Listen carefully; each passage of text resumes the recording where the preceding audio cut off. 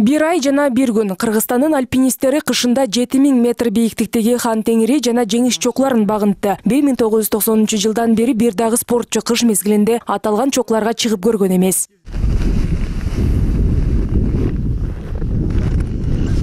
он төртүнчү январда төрт альпинисттен турган топ алгач хан теңириге чыгып андан соң жеңиш чокусуна бет алышкан. Белгилей кетсек буга чейин кыш мезгилинде аталган чокуну багынтууга бир канча жол аракет жасалганы менен ийгиликтүү болгон эмес. Анткени ал жакта өтө суук жана катуу шамал болуп турат. Эки миң он бешинчи жылы курамына кыргызстандын да спортчулары кирген казакстандын экспедициясы жеңиш чокусунун алты миң эки жүз метрин гана басып өтө алган. Ал эми анын бийиктиги жети миң төрт жүз отуз тогуз метрди түзөт. Хан у нас была как если честно как для акклиматизации выход. Биздин башкы максат жеңиш чокусун багындыруу болчу. Жалгыз гана аталган чокуну багынтуу жыйырма жети жыл мурун токсонунчу жылдары болгон анда мурдагы советтер союзундагы эң мыкты спортчуларды чогултушкан эле. жыйырма беш адам болуп беш командада бештен адам болгон анда команда бири бирине жардам берген. Башкача айтканда көтөрүлгөн сайын жипти илип кете беришкен анда бул командалардын ичинен беш гана киши максатына жеткен.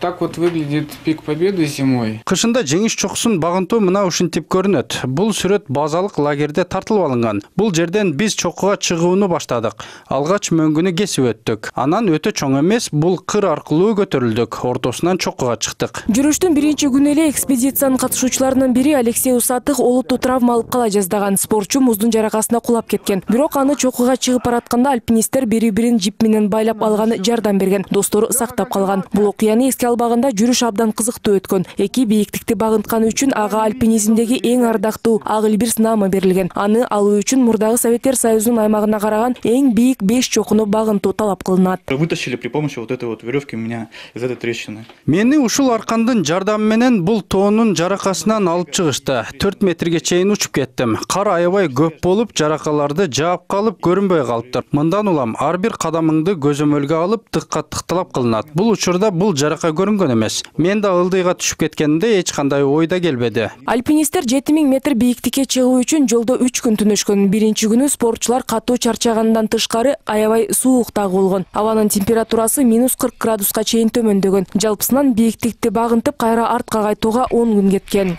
тяжело сам на победе тяжело это психологически. Жеңиш чокусунда психологиялык жактан оор болду тоо адамды басып тургандай сезилет экен этегине жакындасаң үч чакырым бийиктиктеги дубалга урунасың ага кошумча маршрутубуз түндүктөн болду эң жакшы аба ырайы болгондо деле биз ушул убакыт ичинде күндүн бетин көргөн жокпуз биз дайыма көлөкөдө болдук бул кыш мезгилинде жүрүштү кыйындатып салат бишкекке альпинисттер тобу он төртүнчү февралда кайтып келген бир аз эс алган соң машыгууларды кайра баштаганы турушат анткени кыйынчылыктарга карабай альпинисттер ак илбирс наамын алууну максат кылып жатышат. Ал үчүн жылдын суук мезгилинде дагы эки бийиктикти тажикстандагы коржаневская жана коммунизм чокуларын багынтуу керек. Ленин чокусуна өткөн жылы чыгып келишкен.